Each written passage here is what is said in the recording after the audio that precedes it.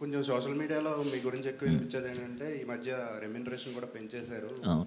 కొంతమంది చిన్నమంది చిన్న ప్రొడ్యూసర్లకు అందుబాటులో ఉండలేదు అని చెప్పి టాక్ నడుస్తుంది. దానికి మీకు క్లారిటీ ఆల్రెడీ టూ ఇయర్స్ బ్యాకే ఒప్పుకున్న పేమెంట్స్ అవన్నీ ఇంకా ఆ సినిమాలు అవ్వలేదండి. అవ్వాలి అప్పుడు పెంచాలి ఎప్పుడుకో.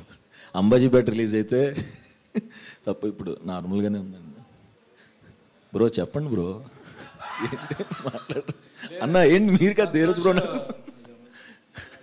సుహాస్ అసలు రెమ్యునరేషన్ ఏం పెంచట్లేదు. పాత రేట్లకే కమిట్ అవుతున్నాడు. ఎంత ఇస్తాను తీసుకుంటున్నాడు. ఎగ్గొట్టినా ఏమనట్లేదు. అంటే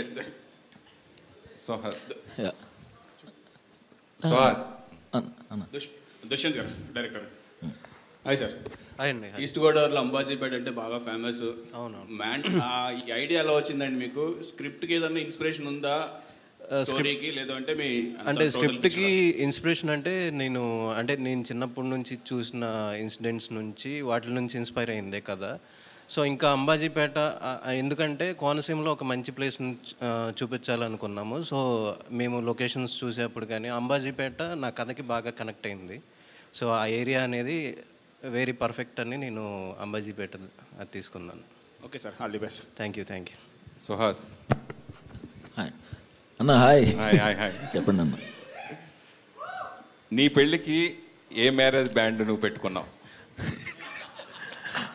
అన్న నా పెళ్ళి అన్ఎక్స్పెక్టెడ్గా సడన్గా అయిపోయి తిరుపతికి వెళ్ళి చేసేసుకున్నాం అన్న. దారిలో తాలిబట్టు కొనుక్కుని దారిలో బట్టలు కొనుక్కుని పంతులు చూసి తిట్టి నువ్వు అసలు పెళ్ళి కొడుకువేనా? అని అవతారం ఏంటి? ఆ సిచ్యువేషన్లో చేసుకున్నావు అన్న పెళ్ళి. నో బ్యాండ్స్ సో ఆ కోరిక ఈ సినిమా ద్వారా తీరిందా?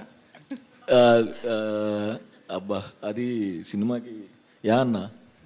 అంటే ఆ మ్యారేజ్ బ్యాండ్ సంబంధించి వాళ్ళలోని కొంచెం ఇబ్బందులు కానీ అట్లాంటి స్ట్రగుల్స్ కానీ అట్లాంటి అన్ని ఈ సినిమాలో కథగా ఉన్న మలిసి ఉంటారు కదా వాళ్ళ బాధలు అట్లాంటి ఏమైనా తెలుసుకోవడం జరిగిందా? రియల్గా? యా అన్న అంటే దీనికి అక్కడ లోకల్లో ఉన్న వాళ్ళు ఒరిజినల్గా ఉన్న వాళ్ళు కూడా సినిమాలో యాక్ట్ చేశారన్న.